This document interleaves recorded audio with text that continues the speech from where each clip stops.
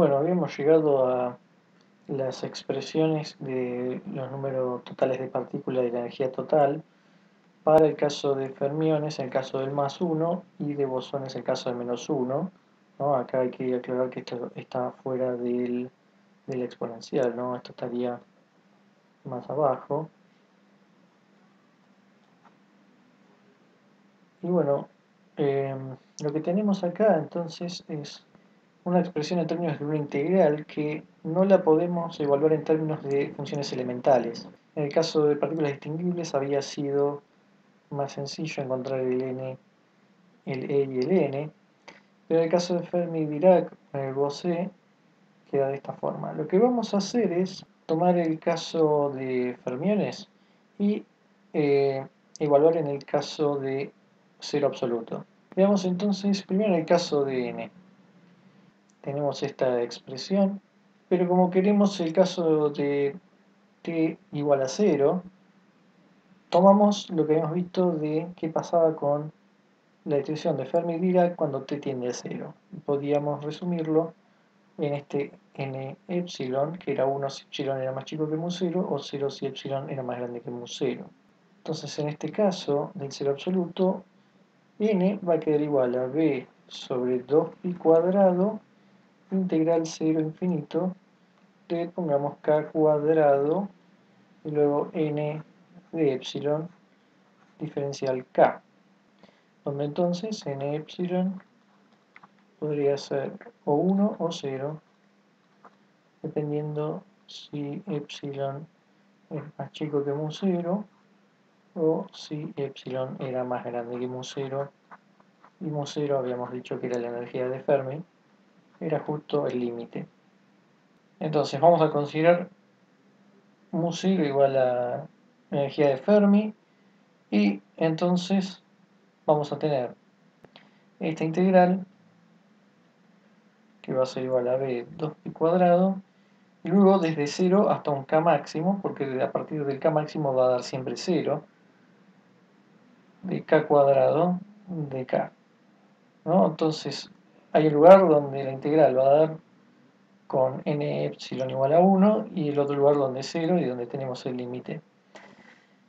Justo donde valga 1, vamos a tomar que va hasta un k máximo y luego 0 no lo ponemos porque es todo lo que sigue después.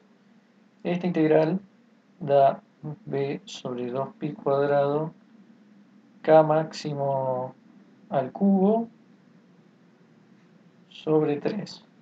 Hay que considerar que cuando ponemos 1, que es cuando vale esta integral entre 0 y k máximo, era si la energía era eh, menor a mu 0. ¿Qué significa entonces? Nosotros habíamos tomado entonces la energía, como la tenemos acá, h barra, acá tenemos h barra cuadrado el k cuadrado sobre 2m. Pero en este caso nuestro k es el k máximo.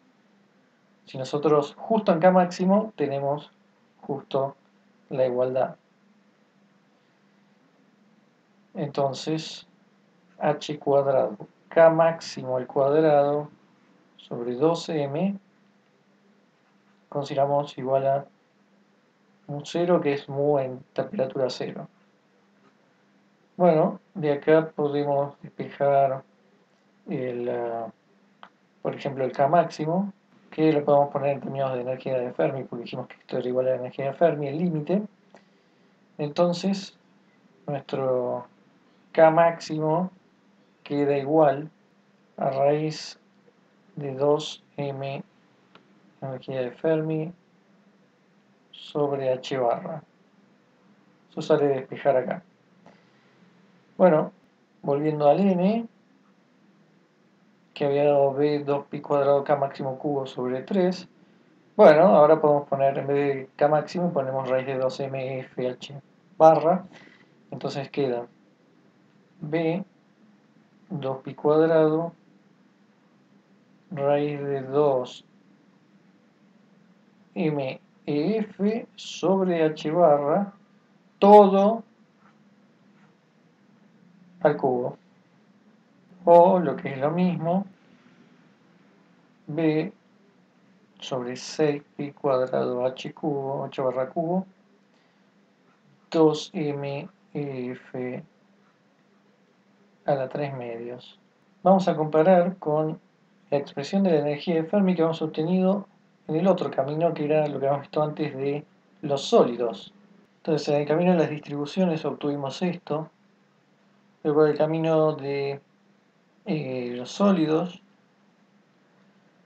viniendo de esa expresión de energía de Fermi, podemos obtener n, y en ese caso tenemos esta expresión en función de b, 3pi cuadrado qh barra cubo 2mf. Son parecidas las expresiones, pero tenemos que tomar q igual 1 Q estaba asociado con la cantidad de electrones que estábamos considerando y además hay un factor 2 que tiene que ver con considerar el spin o no. O sea, estamos considerando la degeneración del spin. Entonces, eso es en el caso de n. En el caso de E también vamos a hacer algo parecido que hace que nos quede que mm, el E total, ¿no? Es la integral hay que sacar primero esas constantes afuera dh barra cuadrado sobre 4pi cuadrado m y otra vez vamos a tener la integral entre 0 y k máximo ahora de k cuarta que es lo que hay en esa integral de k. Esto va a dar bh barra cuadrado 4pi cuadrado m k quinta max sobre 5 y entonces tenemos que eh, reemplazar otra vez el K máximo por raíz de 2mf h barra entonces nos queda que el E total es igual a B sobre 20 pi cuadrado m h barra cubo por 2 mf a las 5 medios. Otra vez podemos considerar, eh, comparar con el caso de eh, los sólidos, donde teníamos esta expresión. Entonces, eh, cuando considerábamos eso, teníamos una energía total igual a BH barra cuadrado 10 pi cuadrado m, este es un cuadrado, y teníamos eh, K quinta máximo. En realidad el nombre que tenía era K final, pero representaba lo mismo, era el, máximo a partir del cual establecíamos la frontera y luego todo valía cero para la integral. Bueno, entonces otra vez tenemos una diferencia de un factor 2 como también ocurría en el caso de n.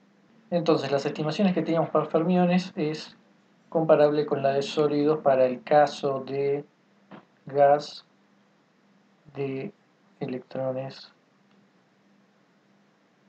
libres, que era eso lo que tomamos cuando hablamos de los sólidos. Entonces, por los dos caminos llegamos a cosas parecidas, aunque de maneras distintas.